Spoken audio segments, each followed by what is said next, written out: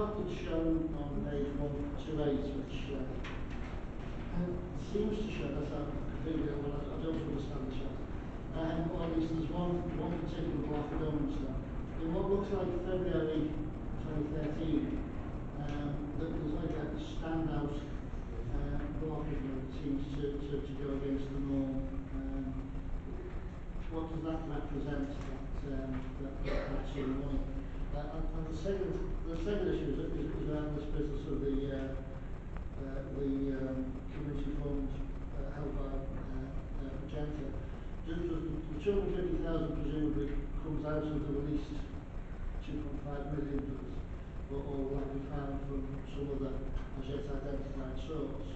And, and what, what, what if is the, is the risk assessment that says that we need to increase the provision for contaminated land and 500 Given that some it's been held, um, if you like, in partnership with the Junta, and I have no claim against it, luckily it was there. Yeah, I think the first one would be the charge. Spike of the charge. What the paragraphs, 11 there, the final paragraph refers to the fact that it's not an anomaly in the data of 13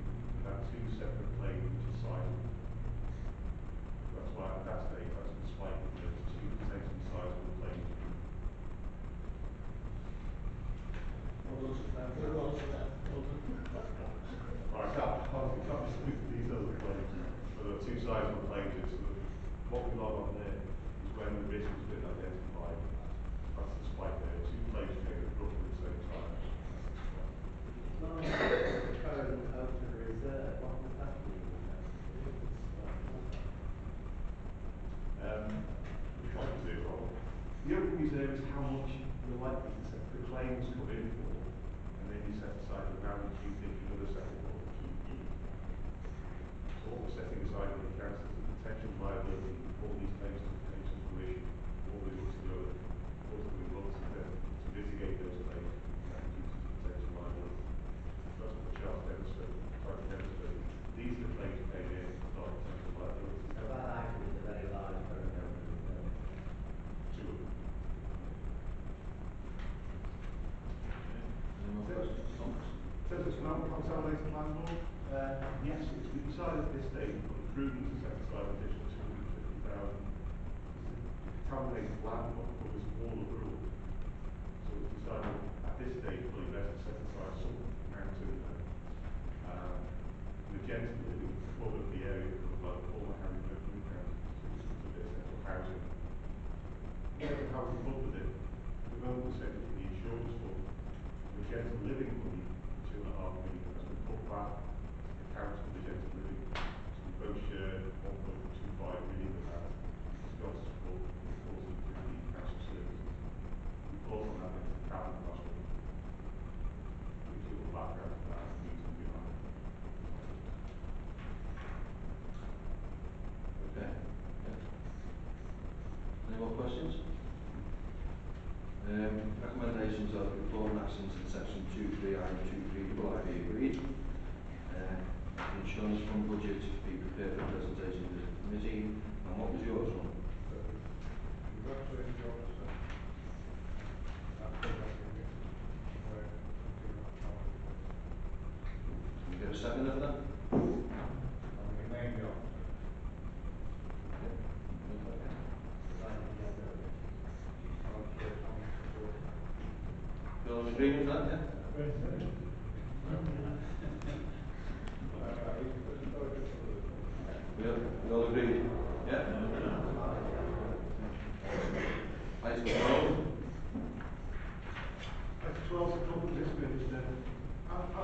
we, we revise this management framework, we, the risk register, come back to this committee every cycle. This will sort of fall into the schools, because this is actually, of course, the update at this stage. It was felt that we didn't, we want to get the individual and bring the report every cycle. This one provides an appendix to the detail of this register. It also takes it on board some of the comments made by the chief executive strategy, which reviewed this over the recent weeks. We'll do a formal during July. It also takes on board two, three, two there. Because at the last meeting of this committee, there was comments made about the IT hardware and software, and how that risk has been removed, now have plans in place to tackle that substantial program of investments over the coming months to replace the hardware and software. One of the other issues that was raised by was under two four four. Concerns raised about corporate safeguard, which can get much of a mention. I think I think it's with regard to safeguarding of adults. That was been now picked upon, and section in this register has been expanded to pick on safeguarding our adults. I'd say the board now is the regular review of this register. The next formal review is in July by Chief Executive Strategy. Members have any comments, to leave those into the review process as well. And the next update will come again in September. Stuart? The, um, two, two point four point four, yes, the, the, uh, business about the safeguard, which if you go to the register is on page one six one. Um, I mean, clearly this is, uh, this is an improvement from, um, from last time and the, uh, the controls and plan controls were, um, specific to, uh, safeguarding around children, uh, and excluded, uh, vulnerable adults. The discussion though that we had last time, uh, and the suggestion I think that, that, that I put on the table for consideration was that, uh, risk description C one was split into its two component parts. Um, one for, uh, vulnerable, uh, one for, uh, vulnerable, uh, adults, uh, and one for, uh, children, so that was fairly clear. Um, and I think last time the, the responsible, uh, director was, was given as the director of children's services clearly now, the, the things got to the strategic depth because it includes everyone. It, it just strikes me there's a huge risk area with, um, with, with, with uh, significant um, uh, um, uh, impacts if, uh, if, if, there's a, if there's a control failure uh, in the area there. Was it discussed the idea of, of, of, of creating two uh, risk descriptions as and one order that be monitored more effectively, or, or was it simply discussed that we were just load on the adult controls into the uh, into the one one list? Uh, that, that's the first one. If we could throw another one uh, just into the mix. I was just reading through through them all, um, and one of the external list of things that you had at risk TE which is to do with uh, digital exclusion. Uh, I was looking at the principal controls listed, and Wirral Digital Inclusion Plan. And I thought, oh, a plan, I can read a. Uh, I went on the uh, internet and uh, all I could actually find was a draft digital inclusion policy, uh, mind map, which was citing in its own way, but sure, I couldn't find the plan, so I don't know whether the plan exists or whether um, it's actually not an existing control, it's actually a plan because we're still at draft stage so far as the uh, digital inclusion concerned. Um, put that blank on the table, no one's going to know what but certainly search, search engine on google.gov didn't, didn't recognise, um, didn't recognise this idea of a plan. Uh, Stuart? Um, just in, in terms of, I don't know if you're talking, in terms of the last one, I think I wouldn't have to take that one back to, to, to find out the answer to that, to go to, to, back to committee. In terms of safeguarding, uh, yes, we did consider having, having two separate ones, in fact, we went on to the directorate level, uh, but we've got to separately, uh, so I was safeguarding and children safeguarding them in, in their own unique way. Um, it was felt that as a corporate risk register, that the, the overriding issue for the corporate plans were protecting vulnerable people. Uh, and that view, we didn't distinguish between the, the age range. Um, however, the committee would, would still wishes to, to consider that more than happy to take that back to, to the relevant, uh, relevant discussion group to see whether it's more appropriate or not. but it is monitored separately at that, at director level. Yeah, it, it, it, it, it wasn't my intention to attempt to get this goes to give any sort of instruction. What I was just after was, was whether the idea that was put, I mean, you know, I choose your position, so I don't to, I don't do, reports like this, it's ju- just occurred to me. Um, if it hadn't been, um, discussed in that way, the, the, uh, the introduction of the reports didn't give that level of detail, I just wanted to prove that, that, that, uh, that been considered, um, if you like, rejected or, or, or, uh, um, it was felt that it was covered separately, uh, with the money for the medical company. Um, I don't think that's my decision or even the decision, I just wanted to know that, that, that, that it had been considered,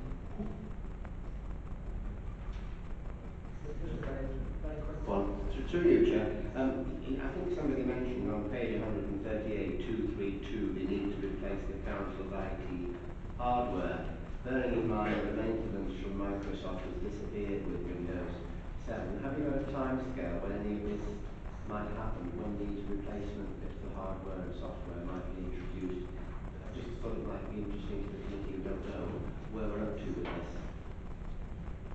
Uh, in terms of the plan, the normalising to be completed by the end of two thousand and fourteen.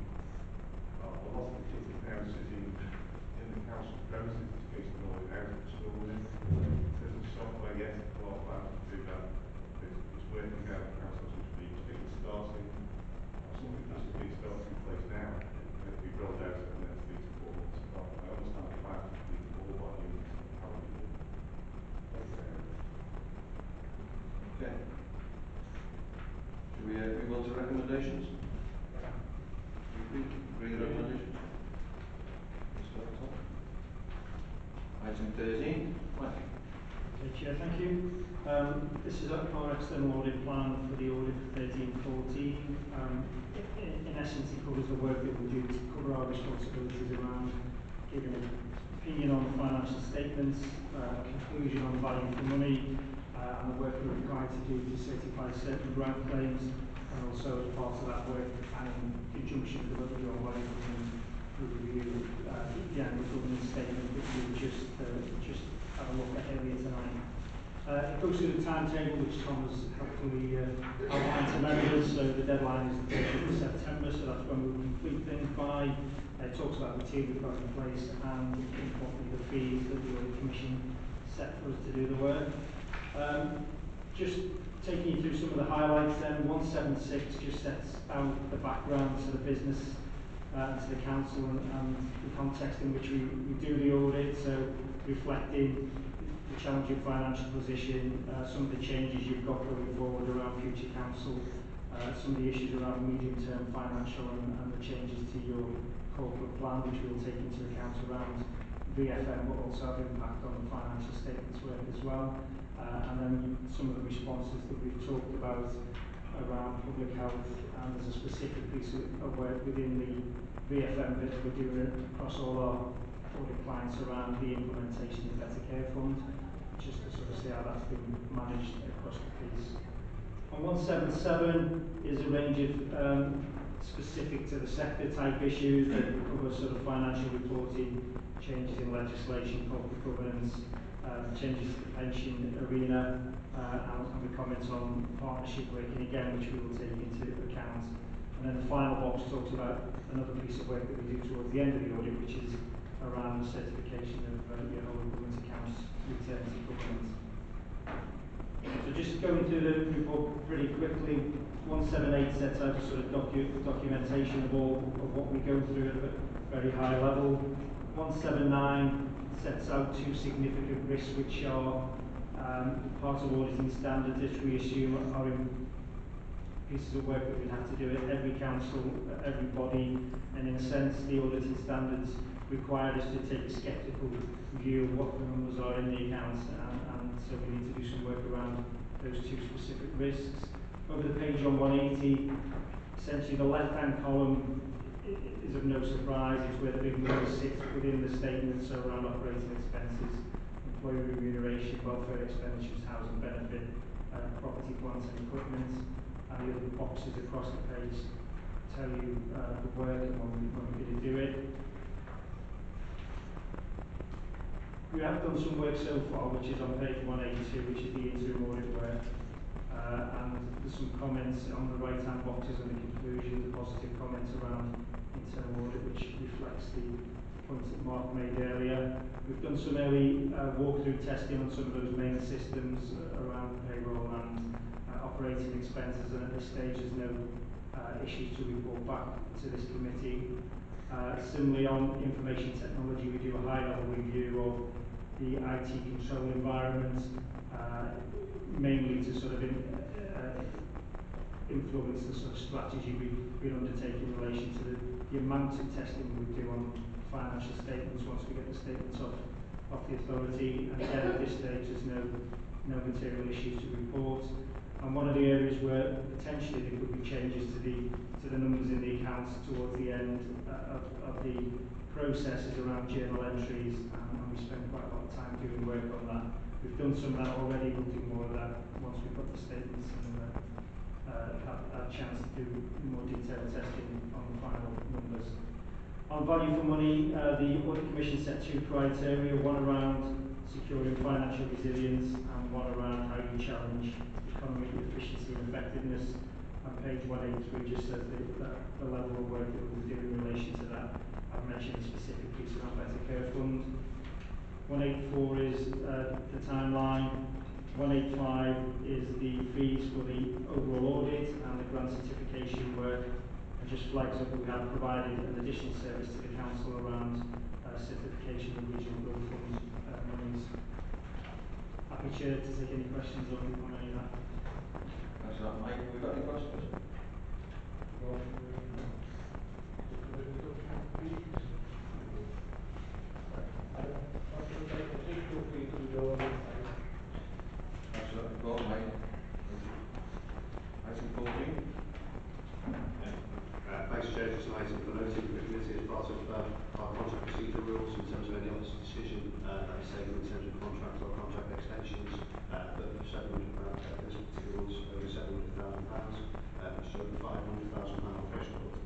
uh, to bring to audit risk management committee for your attention. Any questions? Chu? Uh, uh,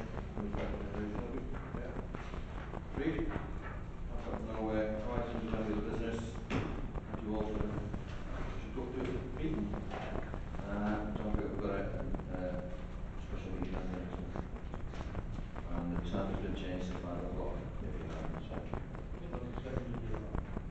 Can can I just ask just over the change of time? I I mean, I I think I said in the email that uh, that was to facilitate um, a screen committee colleagues that were absolutely convinced that um, that we'd be able to carry out the scrutiny that, that, that we, we, we would want to carry out in, in, in the time scale. Or have, have we limited ourselves to an hour?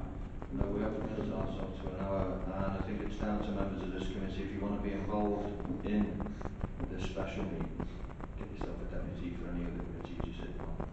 Uh, I think just in case this runs over, because we, we don't know, do we, we can't really tell. I I mean, I don't want to label it, but five o'clock's extremely difficult for, I mean, obviously, I, I make, as it's a one-off, which, which you agree, the normal start time clearly is six o'clock for a reason.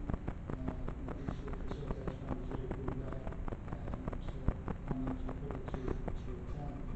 Um, so if, if we're, if we're not planning to start by six o'clock to, to facilitate the start of the student, why are we starting? Uh, just in case. Because we don't know, we? We've not done it before, we can't. We're hopefully going to finish before six. To allow scrutiny members to attend. Yeah. We're hopefully. that wish to. There, there's not really much,